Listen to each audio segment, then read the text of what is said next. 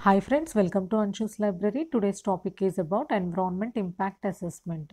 So this is one of the important topic EIA. So let's start the class. So first of all, going to definition, uh, మనకి EIA అనేది ప్రతి ఒక్క ప్రాజెక్ట్కి ఏదైనా ఒక industry కట్టాలన్నా లేదైనా ఒక రోడ్డు ఎస్టాబ్లిష్ చేయాలన్నా ఒక డ్యామ్ అనేది ఎస్టాబ్లిష్ చేయాలన్నా కూడా ఈఐఏ రిపోర్ట్ అనేది ప్రిపేర్ చేయాల్సి ఉంటుంది. ఆ ఈఐఏ రిపోర్ట్ అనేది మనకి సెంట్రల్ బోర్డ్ నుంచి క్లియరెన్స్ వస్తేనే మనకు అక్కడ ఆ ప్రాజెక్ట్ అనేది శాంక్షన్ చేయడం అనేది జరుగుతుంది. ఈ ఎన్విరాన్మెంటల్ ఇంపాక్ట్ అసెస్మెంట్ అంటాము. Very very important. So EIA అంటే ఏం చెప్పచ్చు మనం? Is the objective analysis of the probable changes in the physical, biological and socio-economic characteristics of the environment from a proposed project అంటే ఏదైతే ప్రాజెక్ట్ అనేది propose చేశారో ఆ ప్రాజెక్ట్ వల్ల వచ్చే చేంజెస్ ఏంటి? ఫిజికల్ చేంజెస్ ఏంటి? బయాలజికల్ చేంజెస్ ఏంటి? అక్కడుండే సరౌండింగ్ సోషియో ఎకనామిక్ మీన్స్ అక్కడుండే సరౌండింగ్ పీపుల్ మీద ఏదైనా ఇంపాక్ట్ ఉందా? ఇంపాక్ట్ అనేది ఏదైనా ఉందా?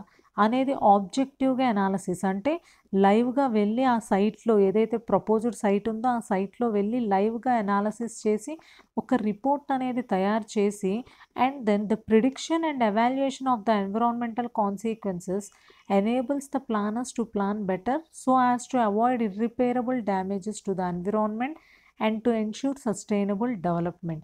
So this is the clear definition of EIA so మనం ఏదైతే అసెస్ చేస్తారో రిపోర్ట్లో మొత్తం కూడా అనాలసిస్ అనేది చేసి ముందుగానే ప్రిడిక్షన్ అనేది చేయాలి ఎవరికి ఎవరైతే ఎస్టాబ్లిష్ చేయాలనుకుంటున్నారో ప్లానర్స్కి ముందుగానే కనుక మనం ఈ మీరు ఇలా కడతాం వల్ల వచ్చే చేంజెస్ ఇవి వచ్చే డ్యామేజ్ ఇది అనేది ముందుగానే మనం చెప్పినట్లయితే they should avoid irreparable damages to the environment ఎన్విరాన్మెంట్కి damage అవ్వకుండా వాళ్ళు ఎస్టాబ్లిష్ చేయగలుగుతారు. లేదా అసలు ఆ సైట్ అనేది సూటబుల్ కాకపోతే వాళ్ళు ప్రాజెక్ట్ సైట్ని వేరే లొకేషన్లోకి చేంజ్ చేసుకునే ఛాన్సెస్ అనేవి ఉంటాయి. So whatever it is we should ensure sustainable development అంటే అంటే ఎన్విరాన్మెంటల్కి ఎటువంటి డిస్టర్బెన్స్ అనేది జరగకుండా ప్రాజెక్ట్ అనేది ఎస్టాబ్లిష్ చేయడానికి ఈఐఏ అనేది ఎంతగానో హెల్ప్ అవుతుంది. So this is the definition of environmental impact assessment and then what are the objectives of EIA to develop and gain complete understanding of the proposed action or project first of all EIA ద్వారా మనకు ఆ project మీద కంప్లీట్గా అవగాహన అనేది develop చేసుకోవడానికి chance అనేది ఉంటుంది. And to determine the possible impacts on environmental characteristics so ముందుగానే మనం ఏమేం పాసిబుల్ అయ్యే ఇంపాక్ట్స్ ఏంటో సో అంటే ఎన్విరాన్మెంట్ మీద ఎటువంటి ప్రభావం అనేది ఉంటుందో మనం తెలుసుకోగలుగుతాం. అంటే ఎయిర్ క్వాలిటీ డిస్టర్బెన్స్ అవుద్దా? వాటర్ క్వాలిటీ చేంజ్ అవుతుందా? సో ఇలాంటి ఒక ఎన్విరాన్మెంటల్ క్యారెక్టర్స్ క్యారెక్టరిస్టిక్స్ మీద పాసిబుల్ అయ్యే ఇంపాక్ట్స్ని మనం తెలుసుకోగలుగుతాం. And to report the results of analysis of the proposed action may be used as the decision making process for planning and management action so ముందుగానే report అనేది వచ్చింది కాబట్టి అనాలసిస్ చేసిన report అనేది రావడం వల్ల ఒక డెసిషన్ మేకింగ్ అంటే అసలు ఆ ప్రాజెక్ట్ అనేది అక్కడ కట్టచ్చా? లేదా ఆపేయాలా? ఒకవేళ కడితే వచ్చే డ్యామేజెస్ ఏంటో కూడా మనం ముందుగానే తెలుస్తున్నాయి కాబట్టి దాన్ని ఎలా కరెక్ట్గా మేనేజ్ చేసుకోవాలి అనేది కూడా ప్రిపేర్ చేసుకోవడానికి మనకి ఈఐఏ అనేది ఉపయోగపడుతుంది. So these are the objectives of EIA and coming to the advantages advantages of EIA EIA helps in identifying alternatives to the proposed site selection choice of technologies and alternatives to the proposed developmental projects so I already told you so EIA report ద్వారా మనం అసలు ఆ site అనేది ఎక్కడైతే pro project అనేది start చేయాలనుకుంటున్నారో ఆ site అనేది సూటబుల్ అవుతుందా లేదా? వాళ్ళు ఏదైతే చూస్ చేసుకున్న టెక్నాలజీ అనేది కరెక్ట్గా ఉందా? లేదా ఆ లొకేషన్కి అది ఇంప్రాపర్గా ఉందా అనేది కూడా ఐడెంటిఫై చేయగలుగుతారు. అండ్ సమ్టైమ్స్ ఏమవుతుంది? ప్రపోజ్డ్ డెవలప్మెంటల్ ప్రాజెక్ట్స్ ఆల్టర్నేటివ్స్ అనేవి అంటే ఏదైతే ప్రపోజ్ చేశారో ఆ ప్రాజెక్ట్ అనేది ఆ ఏరియాకి సూటబుల్ కాకపోతే వీళ్ళు ఆల్టర్నేటివ్స్ అనేవి కూడా ఈఐఏ రిపోర్ట్లో రికమెండ్ చేయడం అనేది జరుగుతుంది. సో ఈఐఏ రిపోర్ట్ అనేది ఒక టీం అనేది మనకి వేరియస్ సెక్టార్స్ వేరియస్ సెక్టార్స్లో ఉండే పీపుల్ అనే వాళ్ళు ఒక టీమ్గా ఏర్పడి రిపోర్ట్ అనేది ప్రిపేర్ చేస్తారు. ఇందులో హైడ్రాలజీ వాళ్ళు ఉంటారు బయాలజీ వాళ్ళు ఉంటారు. ఎక్స్పర్ట్స్ అనే వాళ్ళు అందరూ కలిసి ఒక టీమ్గా ఏర్పడి ఒక ఈఐఏ రిపోర్ట్ అనేది ప్రిపేర్ చేస్తారు. ఎన్విరాన్మెంటలిస్టులు ఉంటారు. సో ఇంజనీర్స్ ఉంటారు. సో వీళ్ళందరూ కూడా ఒక టీం లాగా కలిసి సో ప్రతి ఒక్క ప్రాజెక్ట్ సైట్లోకి వెళ్ళి అనాలసిస్ చేసి ఒక రిపోర్ట్ అనేది తయారు చేస్తారు. కాబట్టి ఆల్టర్నేటివ్స్ అనేవి కూడా సజెస్ట్ చేస్తారు. And it suggest control measures so that the proposed project should be developed and constructed properly మనం ఇందాకే చెప్పుకున్నాం ఏదైనా ఇంపాక్ట్ ఉంటే ఆ ఇంపాక్ట్ని ఎలా సాల్వ్ చేయాలో కూడా వీళ్ళు కంట్రోల్ మెజర్స్ అనేవి చెప్పడం జరుగుతుంది. ఇందులో ఏఏ రిపోర్ట్లో and it store the long term records of environmental changes or impacts so అంటే ఏంటి? సో ఈఏఏ రిపోర్ట్లో కరెంట్ సిచ్యువేషన్నే కాకుండా సో ఎస్టాబ్లిష్ చేసిన తర్వాత వచ్చే కాన్సిక్వెన్సెస్ ఏంటి? వాటి వాటిని కంట్రోల్ చేసే కంట్రోల్ మెజర్స్ని కూడా ప్రపోజ్ చేస్తారు కాబట్టి so it store long term records of environmental changes and what are the possible impacts అనేవి కూడా రిపోర్ట్లో ఉంటాయి. వాటిని ఎలా మేనేజ్ చేయాలో కూడా కంట్రోల్ మెజర్స్ని సజెస్ట్ చేస్తారు కాబట్టి ప్రాపర్గా మనం ఎస్టాబ్లిష్ చేయడానికి ఆ ప్రాజెక్ట్ అనేది ఎస్టాబ్లిష్ చేయడానికి ఉపయోగపడుతుంది ఈఏఏ అనేది. And then coming to the disadvantages so it delays the project because of public hearings and court appeals so this is one of the disadvantage EIA report ద్వారా ముందు ఆ project అనేది ఒక లొకేషన్లో కడుతున్నాము అనేది సరౌండింగ్ పీపుల్ మొత్తానికి కూడా ఎందుకంటే మొత్తం అందరి దగ్గర నుంచి ఒపీనియన్స్ కలెక్ట్ చేస్తారు కాబట్టి సోషియో ఎకనామిక్ క్యారెక్టరిస్టిక్స్ అని అనుకున్నాం. అంటే అదే మనకి అక్కడ ఉండే సరౌండింగ్ పీపుల్కి అసలు ఆ ప్రాజెక్ట్ పెట్టడం అనేది ఇష్టంగా ఉందా? లేదా ఏదైనా ప్రాబ్లమ్గా ఫీల్ అవుతున్నారా అనేది ముందుగానే వాళ్ళకి ఒక వాళ్ళు రీచ్ అవుతుంది కాబట్టి డెఫినెట్గా ఏంటి చాలామంది అపోజ్ చేస్తారు కాబట్టి కోర్టులో కేసు వేయడం అనేది జరుగుతుంది. సో దీనివల్ల ఏమవుతుంది? కంప్లీట్ ప్రాజెక్ట్ అనేది డిలే అయ్యే ఛాన్సెస్ అనేవి ఉంటాయి. And for the preparation of EIA lot of money is required. So అసలు ఆ ప్రాజెక్ట్ అనేది ఓకే అవుతుందో లేదో ఆ తర్వాత సంగతి. ముందే మనం ఈఏఏ ఎవరైతే రిపోర్ట్ ప్రిపేర్ చేస్తున్నారో వాళ్ళకి చాలా వరకు మనీ అనేది స్పెండ్ చేయాల్సి ఉంటుంది. తర్వాత మన ప్రాజెక్ట్ రిజెక్ట్ అవ్వచ్చు గవర్నమెంట్ రిజెక్ట్ చేయొచ్చు. సో అక్కడ ప్రాజెక్ట్ అనేది అసలు డెవలప్మెంటే జరగదు. కానీ ఈఏఏ రిపోర్ట్కి మనం ముందుగానే మనీ అనేది స్పెండ్ చేయాలి. So that is also one of the disadvantage and EIA cannot give the exact assessment of because it involves biological and socio economic factors so ఎందుకంటే ఈఏఏ అనేది ఒక ఎగ్జాక్ట్ అసెస్మెంట్ రిపోర్ట్ అనేది ఎప్పటికీ ఇవ్వదు. ఎందుకంటే ఇందులో బయలాజికల్ ఫ్యాక్టర్స్ ఇన్వాల్వ్ అయి ఉన్నాయి అండ్ అలాగే పబ్లిక్ ఒపీనియన్ కలెక్ట్ చేస్తాం. కొంతమంది కొంతమంది విల్లింగ్గా ఉంటారు అండ్ కొంతమంది నాట్ విల్లింగ్గా ఉంటారు. సో దానివల్ల ఏంటి? ఒక కరెక్ట్ అసెస్మెంట్ అనేది మనకి డెఫినెట్గా ఆ ప్రాజెక్ట్ మీద కరెక్ట్గా అయితే రాదు. అండ్ డిఐఏ అనేది ఆబ్జెక్టివ్ అనాలిసిస్ నాట్ సబ్జెక్టివ్. అంటే పేపర్లు చూసి రికార్డ్స్ చూసి మనం ప్రిపేర్ చేసే రిపోర్ట్ కాదు.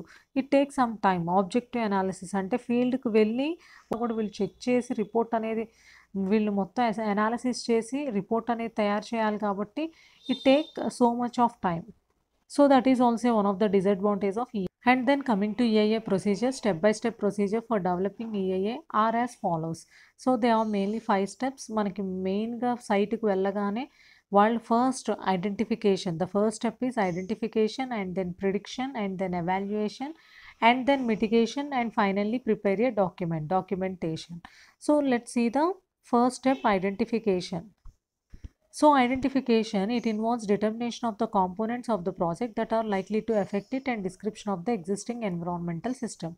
So this is the first step.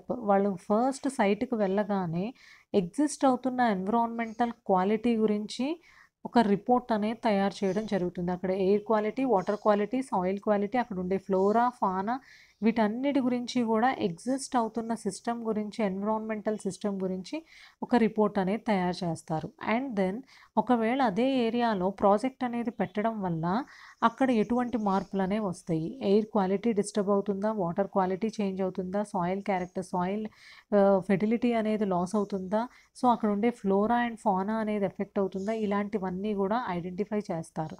So this is the first step. And then prediction. Prediction scientifically characterises the impact cause effect and it consequences to the environment and the local community. Prediction అంటే ఒకవేళ కనుక project start చేస్తే ఎటువంటి effect అనేది ఉంది ఎటువంటి impacts అనేవి ఉన్నాయి ఎటువంటి ఎఫెక్ట్స్ అనేవి వస్తాయి what are the consequences on the environment at present ఏం ఉండకపోవచ్చు బట్ ఫ్యూచర్లో ఏదైనా ఒక ఎన్విరాన్మెంట్ మీద డ్యామేజ్ అనేది జరగచ్చు ఎయిర్ క్వాలిటీ అనేది అలా గ్రాడ్యువల్గా రెడ్యూస్ అవ్వచ్చు లేదా లోకల్ పీపుల్ ఎవరైతే సరౌండింగ్ ఉండే పీపుల్ మీద ఇంపాక్ట్ అనేది ఉండొచ్చు. సో ఇలాంటివన్నీ కూడా ప్రిడిక్ట్ చేయడం అనేది జరుగుతుంది. And then evaluation evaluation means estimate the value. Evaluation involves determination of the incident of cost and benefits to user groups, pe- population affected by the project, and comparison of the trade-off between various alternatives. So evaluation అంటే estimate the value so అసలు ఈ project అనేది పెట్టడం వల్ల ప్లానర్స్కి బ్లే బెనిఫిషియల్గా ఉందా? User గ్రూప్స్కి బెనిఫిషియల్గా ఉందా? లేదా loss అనేది ఏమన్నా వస్తుందా? ఒకవేళ వాళ్ళు పెట్టాలనుకున్న ప్రాజెక్ట్కి ఆల్టర్నేటివ్స్ అనేవి సజెస్ట్ చేస్తే ఆల్టర్నేటివ్స్ అనేవి బెనిఫిషియల్గా ఉన్నాయా అనేది మొత్తం కూడా ఎస్టిమేట్ చేస్తారు అనేది ఎలా ఉండాలి? బోత్ ఎవరైతే ఎస్టాబ్లిష్ చేయాలనుకుంటున్నారో వాళ్ళకి బెనిఫిషియల్గా ఉండాలి. యూజర్ గ్రూప్స్కి కూడా బెనిఫిషియల్గా ఉండాలి. సో అది ఎస్టిమేట్ చేయడం అనేది జరుగుతుంది. And then mitigation. మిటిగేషన్ అంటే control measures. In this case the study team formally analyses mitigations wide range of measures also proposed to prevent reduce remedy or compensate for each of the adverse impact evaluated as significant so వాళ్ళు ఏదైతే primary stage నుంచి analysis చేశారో ప్రతి ఒక్క దానికి కూడా ఒక impact దానికి మిటిగేషన్ అంటే ఒక ఈ ఈ ఇంపాక్ట్ ఉంది దీనివల్ల దానికి ఎలాంటి కంట్రోల్ మెజర్ అనేది ఉందో దాన్ని వాళ్ళు రికమెండ్ చేయడం అనేది జరుగుతుంది. సో ఇలా ఈ ఎఫెక్ట్ అనేది జరుగుతుంది. సో ఆ ఎఫెక్ట్ని ఎలా మేనేజ్ చేయాలి అనేది కూడా ఈ ఆ కంట్రోల్ మెజర్స్ అన్నీ కూడా రిపోర్ట్ చేయడం జరుగుతుంది. And then possible mitigation measures వాళ్ళు రికమెండ్ చేసేవి ఎలా ఉంటాయి? Changing project site it means ఒక్కోసారి అసలు వాళ్ళు పెట్టాలనుకున్న ప్రాజెక్ట్ లొకేషన్ అనేది సో అసలు ఇంప్రాపర్గా ఉంది. అంటే అసలు సూటబుల్గా లేదు. So they recommend change the project site and routes process raw materials operating methods disposable routes or locations.